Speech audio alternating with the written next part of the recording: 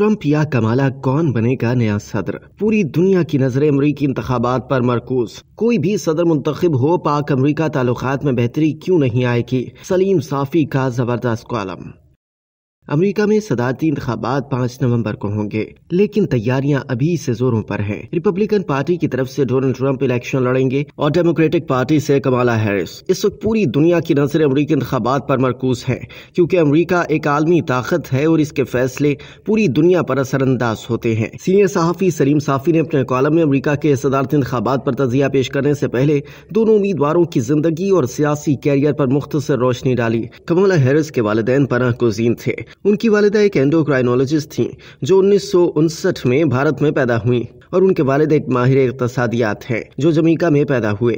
کمالا کا سیاسی career California کی ریاست سے شروع ہوا۔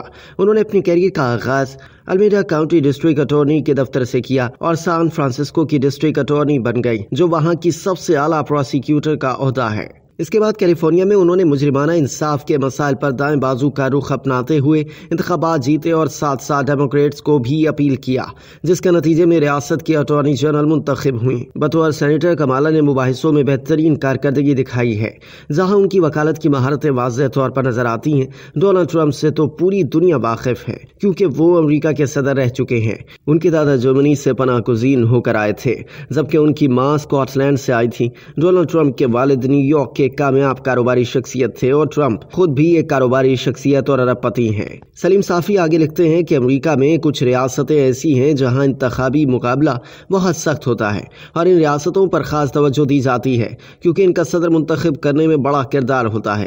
ایسی ریاستوں کو سوئنگ سٹیٹس کہا جاتا ہے۔ کہا جاتا ہے کہ ان میں سات ریاستیں ایریزونا جارجیا مشیگن نیواڈا شمالی کیرولائنا پنسلوانی اور وسکانسن اس بار وائٹ ہاؤس کی چابی رکھ سکتی ہیں امریکی سوئنگ سٹیٹس میں حالیہ پولز کے مطابق کمالا ٹرمپ سے آگے ہیں اور ریوٹرز یا ایپسوس پول کے مطابق بھی کمالا ٹرمپ سے آگے ہیں۔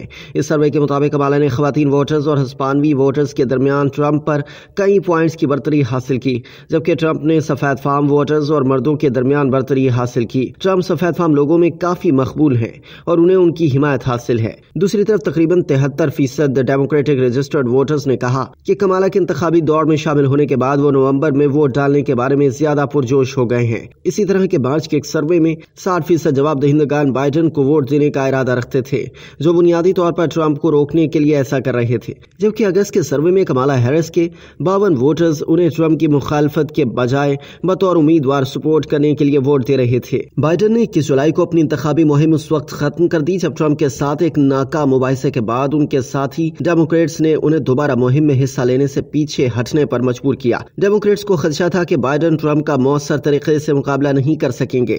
اس لیے انہوں نے کمالا کو ٹرمپ کے مد مقابل کھڑا کر دیا۔ کمالا کی آمد سے انتخابی مقابلہ دوبارہ سخت ہو گیا ہے، کیونکہ ان کی مقبولیت اپنے ووٹرز میں بائیڈن سے زیادہ ہے اور عمر کے لحاظ سے بھی وہ اپنے مخالف سے زیادہ متحرک اور توانا ہے تاہم، بائیڈن کی صدارت کو بلند افراد زر، بڑے صنعتی پالیسی بلوں اور بین الاقوامی سطح پر انتشار جیسے مسائل کے ساتھ جوڑا گیا ہے۔ اور ریپبلکنز ان مسائل کا الزام کمالا پر بھی عائد کرنے کی کوشش کریں گے تاکہ ان کی مہم کی کامیابی کو کمزور کیا جا سکے۔ لیکن ٹرمپ جو دو ہزار چوبیس کے صدارتی انتخابات میں ریپبلکن پارٹی کے امیدوار ہیں، کو ریاستی اور وفاقی سطح پر متعدد الزامات کا سامنا بھی ہے۔ ان کی قانونی ٹیم مختلف مقدموں کو زیادہ سے زیادہ تاخیر سے نمٹانے کی کوشش کر رہی ہے۔ اس امید کے ساتھ کہ اگر وہ دوبارہ وائٹ ہاؤس میں آ گئے، تو وہ ممکنہ طور پر جیل جانے سے بچ سکیں گے یا اسے مؤخر کر سکیں گے۔ جب ٹرمپ نے مارچ میں ریپبلکن پارٹی کی جانب سے صدارتی نامزدگی حاصل کی، تو وہ چار مختلف مقدمات میں سنگین الزام کا سامنا کر رہے تھے۔ ان کے خلاف ایک وفاقی مقدمہ جو دو ہزار بیس کے امریکی صدارتی انتخابات کو الٹانے کی کوشش اور چھ جنوری کو کیپٹل ہل حملے میں ان کے مبینہ کردار پر مبنی ہے، ابھی زیر سماعت ہے۔ اسی طرح ٹرمپ کو کاروباری ریکارڈز میں جالسازی کے ایک مقدمے میں مجرم قرار دیا گیا۔ لیکن صدارتی استثنا پر سپریم کورٹ کے فیصلے کی وجہ سے یہ فیصلہ اب معلق ہے۔ ٹرمپ پر خفیہ دستاویزات کے غلط استعمال اور انصاف کی راہ میں رکاوٹ ڈالنے کے الزامات بھی عائد کیے گئے تھے۔ لیکن پندرہ جولائی کو جج نے یہ مقدمہ خارج کر دیا۔ محکمہ انصاف اس فیصلے کے خلاف اپیل کر رہا ہے۔ لیکن اب تقریباً یقینی ہے کہ یہ مقدمہ نومبر کے انتخابات سے پہلے نہیں ہو سکے گا۔ ٹرمپ اور اٹھارہ شریک ملزمان پر جارجیا ریاست کے قانون کے تحت دو ہزار بیس کے انتخابات کو الٹانے کی مجرمانہ سازش کے الزامات بھی عائد کیے گئے ہیں۔ یہ مقدمہ بھی جاری ہے اور قانونی کاروائی مختلف مراحل میں ہے۔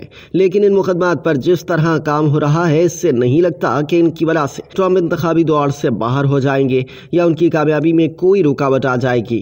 ان کو کامیابی بھی ہو سکتی ہے اور صدر بھی بن سکتے ہیں۔ تیرہ جولائی کو پینسلوانیا میں ایک جلسے کے دوران ایک بیس سالہ نوجوان نے ڈونلڈ ٹرمپ پر گولی چلائی۔ جو ان کے کان کو چھوتے ہوئے گزر گئی اور جس کی وجہ سے ایک راہگیر ہلاک ہو گیا۔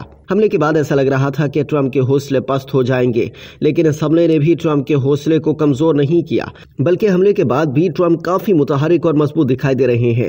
تاہم، ان کے مقابلے میں جو ڈیموکریٹک امیدوار ہیں، وہ بھی کمزور نہیں ہے ایسا محسوس ہوتا ہے کہ مقابلہ کافی سخت ہوگا۔ سلیم صافی کے بقول امریکہ میں چاہے کوئی بھی صدر منتخب ہو یا کسی بھی پارٹی کی حکومت بنے، پاکستان کے ساتھ امریکی رویے یا تعلقات تعلقات میں نمایاں بہتری کی توقع نہیں کی جا سکتی، کیونکہ امریکہ پاکستان کو چاہے وہ ڈیموکریٹک ہو یا ریپبلکن پارٹی کی اب چین کے تناظر میں دیکھتا ہے۔ اور چین، افغانستان اور پاکستان پر ان کی پالیسی تقریباً ایک جیسی ہوگی۔ اس بات کا اندازہ بھی اس سے لگا سکتے ہیں کہ افغانستان سے امریکی فوج کے انخلا کی ابتدا ریپبلکن پارٹی کی حکومت نے کی، لیکن اس عمل کو مکمل ڈیموکریٹک پارٹی کی حکومت نے کیا۔